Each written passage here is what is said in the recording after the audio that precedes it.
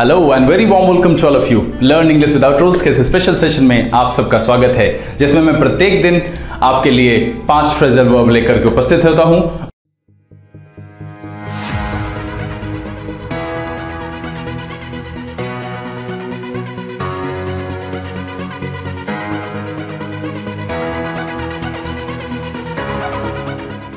से एक बार पाँच नए फ्रेजल वर्ब के साथ आपके सामने उपस्थित हूँ।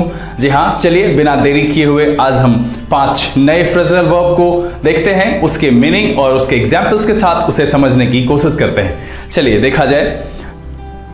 आज का जो पहला फ्रेजल वर्ब है, वो है आयरन आउट जी हाँ iron out to deal successfully with a disagreement और problem to deal successfully with a disagreement और प्रॉब्लम जी हाँ समाधान करना या हटाना। जी हाँ किसी समस्या को हटाना या उसका समाधान करना। एग्ज़ाम्पल के तौर पर देखा जाए, Aman and his partners are meeting in Patna to iron out the final details of the contract Aman and his partners are meeting in Patna to iron out the final details of the contract जी हाँ contract के final detail में आने वाली समस्या के समाधान के लिए अमन और उसके पार्टनर्स पटना में मीटिंग कर रहे हैं। आज का जो अगला फ्रेजल वर्ब है, वो है हेड फोर जी हाँ हेड फोर टू प्रोसीड और मूव टुवर्ड समवन और समथिंग टू प्रोसीड और मूव टुवर्ड समवन और समथिंग की ओर जाना या किसी परिस्थिति की ओर बढ़ना। एग्ज़ाम्पल के तौर पर देखा जाए our country is heading for recession our country is heading for recession यानी हमारा देश रिसेशन की तरफ़ बढ़ रहा है।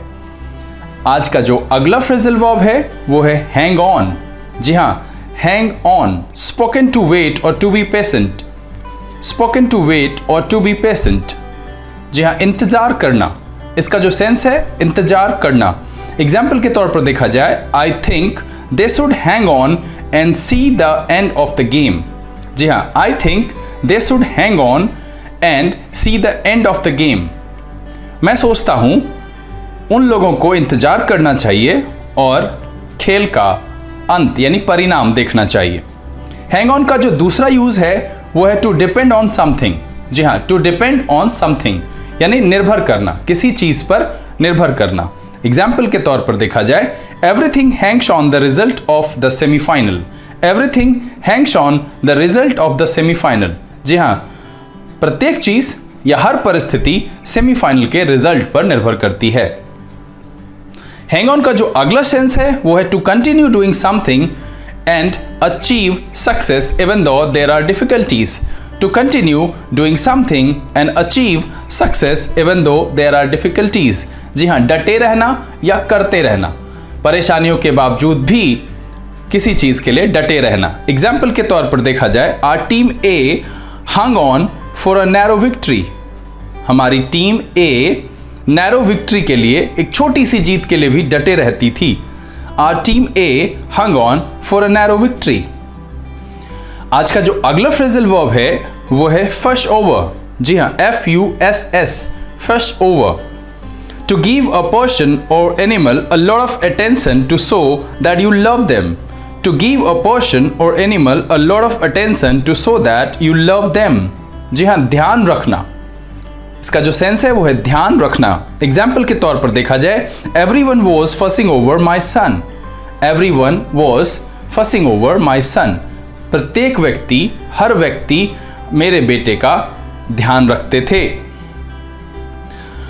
आज का जो आखिरी फ्रेजल वर्ब है, वो है गेट अहेड जी हाँ get ahead to make progress in your work and become successful to make progress in your work and become successful जी हाँ अपने काम में प्रोग्रेस करना और आगे बढ़ना। जी हाँ इसका जो सेंस है, आगे बढ़ना।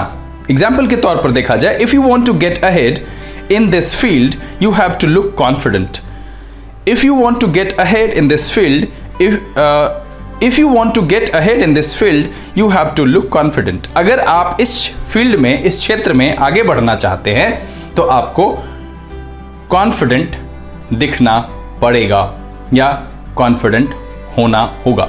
तो मैं समझता हूँ कि ये जो पाँच फ्रेजल वर्ब है, इसमें अब आज के बाद आपको परेशानी नहीं होगी। इसे बार बार ऐसे पहले नोट डाउन करें और बार बार रिवीजन करें और अपने पैराग्राफ के दौरान इस सेंस को मेमोराइज करने की और उसे समझने की कोशिश करें। कल फिर हाजिर होंगे।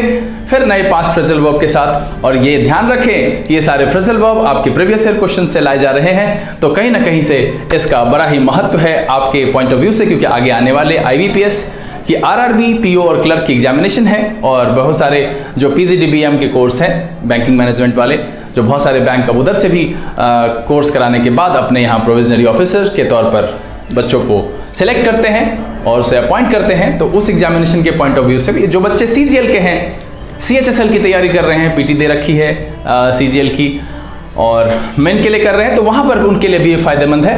तो आप इसे रिवीजन करते रहें, कल फिर हाजिर होते हैं। तब तक के लिए लर्न इंग्लिश विदाउट रूल्स के सेशन से this is B K Singh signing off keep reading keep practising thank you God bless you good night